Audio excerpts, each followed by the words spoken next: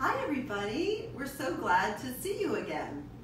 Um, we wanted to come on here and do a video for you today about the Autumn Cleanse and Detox Workshop.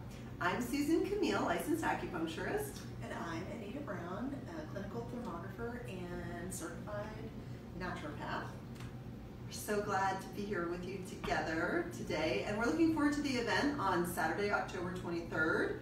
And we are calling our workshop Autumn Cleanse and Detox Workshop. It's the autumn workshop in the seasonal workshop series. And we thought it might be kind of fun to talk about cleanse and detox. Why did we even choose to call it that, especially for this time of year? So we thought we'd talk a little bit about cleanse and detox. So, a big part of it is getting stuff out of your life. Cleansing and detoxing is about particular foods you might want to stop, particular activities you might want to hold off on, um, different uh, medications. Mm-hmm.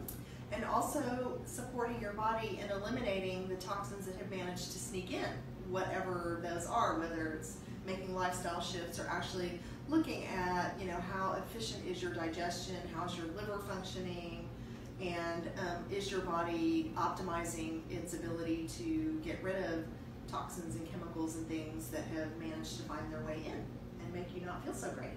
Yeah, so you might not even be feeling so great and not even know why.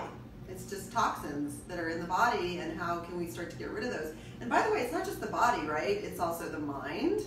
It's also the spirit. So something for the mind might be, oh, I have a lot of clutter in my space. You know, it's cluttering my head and it's hard to work in a particular space if it's got a lot of things in there that we're not using anymore. It can also be negative thoughts, like if we're stuck in a loop of, um, you know, self-deprecating thoughts where, you know, we're thinking bad things about our body shape or whatever it is, um, those negative thoughts have a huge impact on our physical health and um, are, are toxic to our systems.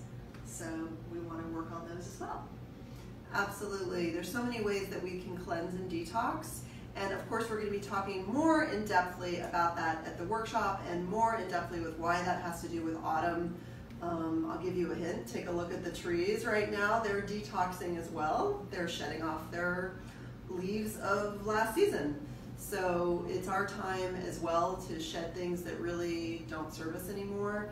And we want to capitalize on that this time of year. So come to the workshop and learn how to do that. Yeah, and also just learn about all the things that you might be doing that are toxic to yourself that you don't know about. So, you know, what is it? How can we avoid toxins so that we're not putting the body under any kind of a burden to begin with?